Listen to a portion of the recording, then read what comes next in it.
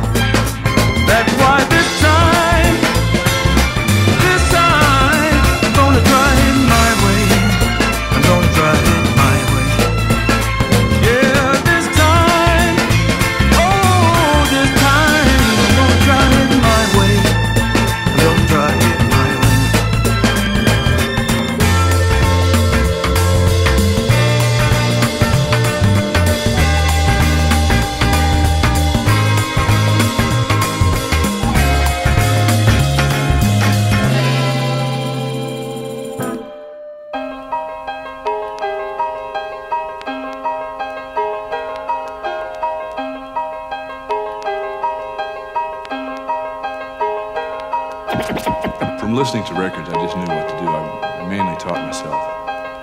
And, you know, I did pretty well, except there were a few mistakes but, uh, that I made that uh, I have just recently cleared up. You know,